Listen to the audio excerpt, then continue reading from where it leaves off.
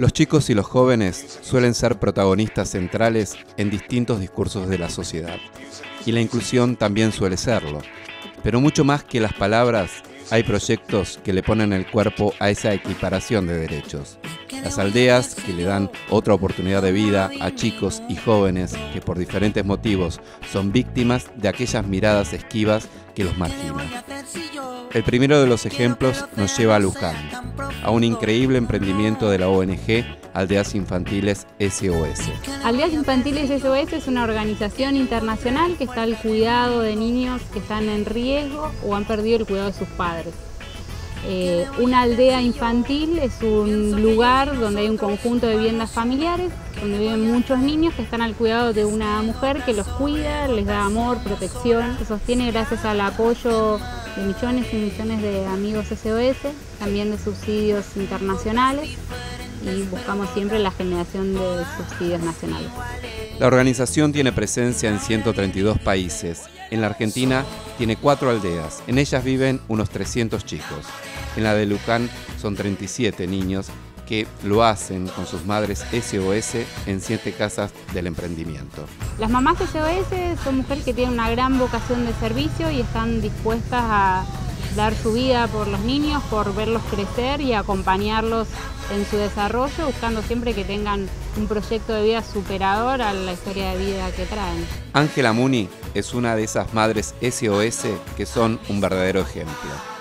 Con hijos biológicos ya grandes, Ángela decidió cuidar y criar a estos hijos del corazón. Nosotros hacemos toda la actividad que hace una mamá, desde levantarlo para ir a la escuela, cocinarle, prepararle su ropa, comprarle su ropa, sus alimentos, ayudar en las tareas, mimarlo. En estos tres años ya tuve tres grupos diferentes. Tengo uno solamente que hace tres años que está estable conmigo. Eh, es duro cuando los chicos se van, porque los chicos se te meten en el alma. Para mí son mis hijos. Aparte de los cinco biológicos que tengo, todos estos son mis hijos. Hijos acá en este momento cinco. Del corazón cinco. Eh, dos de 16 años, uno de 10, uno de 8 y uno de 7. Aldeas Infantiles tiene además equipos técnicos que ayudan a las familias, por ejemplo, en el tema de la administración, como también trabajadores sociales que dan acompañamiento y contención pedagógica y de cualquier índole. Un día en Aldea Infantiles, como cualquier día de cualquier niño, donde hay una mamá que lo despierta, lo acompaña y lo prepara para ir a la escuela.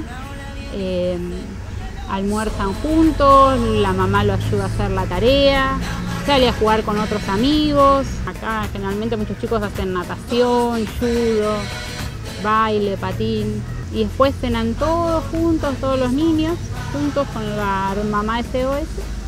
Se quedan bien tele a la noche y después van a dormir. Esta organización tiene un programa de fortalecimiento familiar y comunitario que actúa en los casos de aquellos chicos que aún viven en el seno de familias con algunas dificultades. El programa de fortalecimiento familiar y comunitario trabajamos con niños con riesgo de perder el cuidado parental y es una etapa previa a la aldea. Funcionamos en espacios que son de la comunidad, no son espacios propios de aldeas infantiles y llegamos a funcionar en estos espacios a través de convenios que hacemos con organizaciones barriales y una de las características principales de, estos espacios es que están a cargo de mamás del barrio, que nosotros capacitamos y lo importante a descatar es que estas mamás son mamás solidarias. Lo que logramos ser evitar que los chicos sean institucionalizados. O sea, es un, es un trabajo de hormiga que vamos haciendo de a poco, pero para nosotros que un chico pueda seguir estando con su familia, con el acompañamiento del programa, ya es un gran resultado. Cuando conocí a estos chicos es ver la necesidad del amor, del afecto, del abrazo, del escucharlos cuando tienen un problema, porque ellos van a venir con cosas muy simples, pero que son grandes problemas para ellos.